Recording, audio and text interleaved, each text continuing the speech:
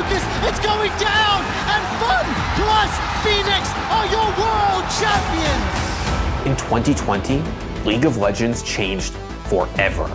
The old guard have fallen and a new era begins in the LPL. After years of denial, the second place was no longer good enough. The old kings of China, world champions, were toppled by young upstarts. Knight has package. JDG, it's a numbers advantage, but top esports individual players. But the old misses from JackeyLove. The pillar comes through. nice. Knight comes in, lines it up, and kills Zoom. JackeyLove with Severum. Has a bit of healing. Kanavi slowed by the package. Again, every single time. They pulled off an unthinkable heist. And they're not done yet.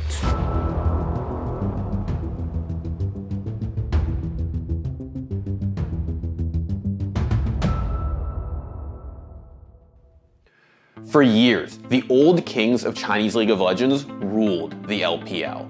You knew their names Royal, Edward Gaming, Invictus Gaming, and you knew their stars Uzi, Clearlove, Rookie. And when China conquered the international stage, these rampaging kings were the ones who hoisted the trophies, while the rest of the world cowered in fear.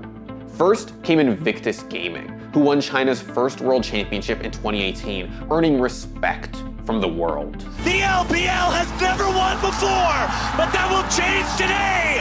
The Crownless are finally king, and Invictus Gaming are your 2018 world champions. Then came Fun Plus Phoenix the next year, and though they were less established, they were anything but rookies. The Nexus is being focused. It's going down, and Fun plus Phoenix are your world champions. The greatest players in China had built dynasties, created legends. They'd smashed every adversary. And in the end, they held League of Legends' greatest prize. But beneath the royalty, there was a new generation, young and hungry, waiting for a chance to prove themselves, waiting for a chance to steal that prize. Everything changed in 2020. China's hungry young players ripped the trophy right from under the nose of the old kings. It was an incredible heist. But every great heist needs a crew. The first members of our crew, well, their story began in an internet cafe. Knight and Yagao grew up together in Pingshang, and when they fell in love with League of Legends, they started going to internet cafes. The same internet cafe. Their duels in the mid lane were fierce as the two young up and coming players battled for the title of the best mid in Pingshang. As they grew older, they faced off in new cities, new stages, and eventually in the LPL. Knight and Yagao's battle to be the best never ended. The stakes just got a lot higher. So, gonna be a lot more aggressive, taking the straight. Duet lands into the Vanguard's edge. You just find yourself an easy kill. Knight is styling on this mid. By 2019, Knight had finally gotten ahead of Yagao. People were starting to call him China's next great mid lane talent. But then, Invictus Gaming brought them both down. They jump on in immediately. JackeyLove takes the first. The second goes over to him as well. Zooms late to the party. They'll just give it all. As IG run on in, they say, hey, it doesn't matter. Quadra, give it all. Oh, it's a. Yes, you know he gets the penta kill. And that'll be all she wrote. The cannon goes down, and Top Esports are routed. It's 3v2. Logan's away from his base. I think IG have done it. Yeah, oh, uh, nice. The only one that needs to die on this one, and that's it. Night has fallen. IG will earn their spot to defend their championship and take the third seed to represent China at Europe. During IG's miraculous run to Worlds 2019, they toppled both JDG and Top in the gauntlet, shattering Knight and Yagao's Worlds dreams. So going into 2020, the prodigies from Pingshang were ready for some revenge. Which brings us to the next member of our crew, another prodigy who was looking to make up for a brutal 2019. Kanavi. As part of a controversial string of business decisions by his former org, Kanavi was loaned to Chinese team JD Gaming on a contract that a Korean senator called worse than slavery. But as Griffin imploded in the wake of their controversy, Kanavi was freed. He signed a new contract with JD Gaming in November. Kanavi is such a such an exceptional player for the fact that he's willing to come into the LPL last year on JDG on a loan and have such a, a good performance even in a chaotic situation. And I think JDG are the team that have allowed him to flourish because how many other teams would their laners be willing to say, hey, we'll give up waves to, to let you invade, we'll give up waves to go help and make sure you can get the most out of what you want? And it's really been a kind of match made in heaven with Kanavi and JDG. I definitely think it was the team's commitment to play around him. And this is something that he did say in interviews uh, when he re signed with JD Gaming as a free agent after all the troubles in the offseason. JD Gaming did say that they were willing to actually just reform the team around him. And I, I think they stayed true to that promise. Good buffer there, but he's actually going to jump straight in on top of this Tristana, and there's the dunk straight down on top of him. The teleport did come in. Cataclysm was stolen, but they have got Garvey just trying to do as much damage as he possibly can. PYL is here, but it's only really to try and keep everybody away. He's going to try and find a damage, but there's no one there. Kramer just wasn't there on time. Double kill for the Sylas, and JDG taking control. Yagao as well, getting basically the 1v. What is the damage? Kanavi for JDG. This is their way into the top four of the LPL. Bellows Breath actually stops the showstopper. What was that? Double kill now for Kanavi. Wei can't do anything about it, and he'll fall as well. That's a triple onto the board. 어, 일단 제가 좀 잘 풀려야 잘하는 스타일이라서 팀원들이 좀 저한테 맞춰주는 게 있거든요. 그래서 제가 잘 풀려야 좀 게임 잘 풀리다 보니까 항상 저한테 맞추는 것 같아요. Kanavi's aggressive, carry style of jungling took JDG to the top of the league in the spring split. But he wasn't doing it alone. In addition to help from the rest of his incredible team, he had Yagao in his mid lane, still fighting to outdo his childhood rival, Knight. JDG are a team we've been calling the smartest team in the LPL. You can see it all starts from the early game that they're really good at playing around their jungler Kanavi. It's all about funneling their resources into him. It also comes from their great team fighting from their top laner Zoom, who is the best team fighting top laner in the league, full stop. JDG finished second in the regular season, only behind IG. But in the playoffs, they went on a tear. Kanavi led them to victory, sweeping the defending world champions FunPlus Phoenix before facing off against their rivals, Top Esports, in the finals. It was a historic moment for the league. China's old guard had been overthrown by two mid laners who turned each other into warriors, by a jungler who was hungry to prove that he was more than just a victim, by a new generation of players desperate for their shot at the prize. And it was a hell of a show. Knight has package. JDG, it's a numbers advantage, but top esports, individual players with the ult misses from JackeyLove. The pillar comes through. nice. Knight comes in, lines it up, and kills Zoom. JackeyLove with Severum has a bit of healing. Kanavi slowed by the package again, every single time. I cast this champion, he pops off. Onto the Dragon they begin. Top esports are looking to contest this. The direct line doesn't connect, nor does the death sentence for Dragon.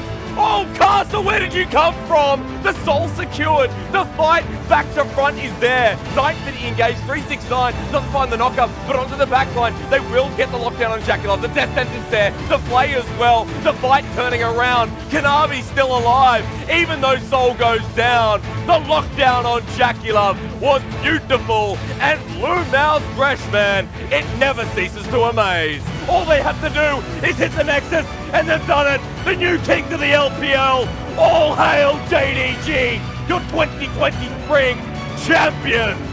Kanavi came to China on the worst possible terms, but a year later, he ruled the LPL.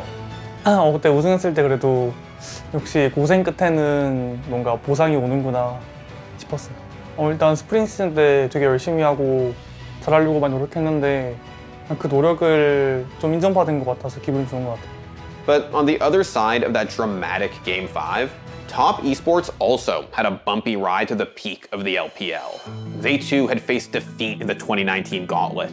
They too were eliminated by IG in a five game series. And Knight, the best player not to go to Worlds, was forced to watch the tournament from the sidelines. And you can see devastation for Top Esports. They tried their best, they put their heart and soul into this series. And unfortunately, it just wasn't good enough. But 2020 didn't start off too smoothly for Top. They put together a respectable record in the weeks after the LPL returned from the pandemic induced hiatus, but by the end of week 5, they were in fourth. Which brings us to the fourth member of our crew. Fourth place wasn't what Top wanted. They wanted more. So they made a huge shift in the bottom lane and changed everything. JackeyLove was a world champion AD carry, but during the offseason, he left IG, which made him the hottest free agent in China. But when the season started in January, JackeyLove was still teamless. And when the league went on break due to the pandemic, he was home, quarantined in the Hubei province near the virus's outbreak. And even by the time the LPL came back, JackeyLove still didn't have a team. But in early April, JackeyLove finally found a home on top. And then he got to work. Mole's gonna have to flash away, grab him there. Now the Avelio Assault comes through. He Ooh. flashes on top of Mole before the Pop Blossom. Has the time with Xiaohan as well. well. Nicely done. Just what we remember as V5 run into him. He's gonna pick up a triple kill. Jackie Love is back. Hmm, 嗯，感觉这个赛季一路走过来还是就跌跌撞撞的吧，还是挺多问题出现的。然后感觉走到这一步，其实我自己也没有想到，就真的能够踏进决赛吧。就因为我们中间确实出现了挺多问题的嘛。杰克加入后，就我们队员都感比较比较有信心了吧。I think Jackie Love's impact has two dimensions. The obvious one that everyone talks about is his shot calling, but I also think it gave them a real like reset, a start over because even Knight in Karsa, who had a terrible mid-jungle 2v2 in spring, it improved so much when JackeyLove joined and it probably gave these guys enough room to refocus, realign, and really get on the same page with how they wanted to play the game. With JackeyLove in the bot lane and Knight at mid, Top looked like they'd reached their final form, and they were terrifying. Oh, BP God. You don't survive this on PB God. That's a big scary snake, and you know what? Knight is going to be in a 1v3 here. But I'm thinking I might even favor Knight for this one. Stunned up. And there's the ulti as well. He doesn't quite have the damage to bring down the bet. Oh yes, he does. God. And he's got a life steal to boot as well. Oh, no. Burning down the Quang. No way. Knight, you monster. But to truly call 2020 a new era, for this LPL heist to work, they needed more than just JDG and Top. And that's where Suning Gaming comes in. Suning's spring 2020 roster was packed with young, promising talent but it didn't quite work out. They bombed out of the season with a 7-9 record and didn't even make playoffs. But by the summer split, they found their mojo. Molten found by SOFM, who's just going to try and run down the Zoe. In the meantime, Weiwei has just been obliterated on the front line. Flash forward, the arrow goes wide, but Samdi's still going to be stunned up. Uses the cleanse to try and get away from the play. Cannon Barrage to kite this one out, but Mole goes down to SOFM in the end, and it looks like V5 have fallen, and Suning are going to even up the series. They had an aggressive playstyle that mirrored Tops with solo lanes that could go toe-to-toe -to -toe with the best. And even though Tops swept them out of the semifinals, they did the same to LGD and then did it again in the gauntlet, securing China's third ticket to Worlds. With Suning just behind them, JDG and Top faced off in a summer finals that felt like fate. And when they stepped on stage to determine who would get the second title of the year, it truly felt like we were in a new era. The players who had rewritten history, who had circled each other all year, creating the new great rivalry for the region, faced off in a historic grand final. And once again, they gave us a hell of a show. Force shot isn't quite enough. In fact, it doesn't come out at all. Hook goes wide. Yagao trying to turn this one around. What was that? Beautiful play out of Yagao as he turns it into more. Yuyanjia will fall. And Yagao showing us his Lucian. Top Esports, they don't know what's going on just yet. They're going to re-engage onto LvMao. He's got himself a stone plate, but he's just not tanky enough. Goes down, but he's straight up JackeyLove. Now Loki trying to dish out the damage. Knight goes into the backline and absolutely bursts them down. But Yagao answers. It's Yuyanjia now on the play. Yagao versus the world as we see Zoom just buying time for his mid laner. The damage coming on through. 369 to Yuyanjia. So damn low and Yagao gets the kill. There's only one Nexus turret remaining and Top Esports will destroy it. The old guard have fallen and a new era begins in the LPL. After years of denial, the second place was no longer good enough. And Top Esports are your LPL 2020 champions. Knight's first domestic title was a powerful statement for both him and his team. They enter the World's group stage as China's strongest team, and for many analysts, favorites to lift the Summoner's Cup. But roaring into Worlds next to them are two hungry teams who have never made it to Worlds before either, and they want to lift that same trophy. Even LGD, China's fourth and final team at Worlds, made it in with a revamped roster, one that looks nothing like their old squads. JDG, Top, and Suning all came into the most chaotic year League of Legends had ever seen with a chip on their shoulders, with something to prove, with players who had spent years waiting in the shadows, overlooked, underappreciated, but ready. And they pulled it off. They showed everyone why China is League's most competitive region. And if they get their way, China's stranglehold over International League isn't ending anytime soon. League of Legends has new kings in a new court, and now, there's only one thing left for them to take. Thanks for watching. If you want more content like this, hit the sub button and ring that notification bell. For unique bite-sized videos you won't find anywhere else, hit up our Instagram, Twitter, and Facebook pages.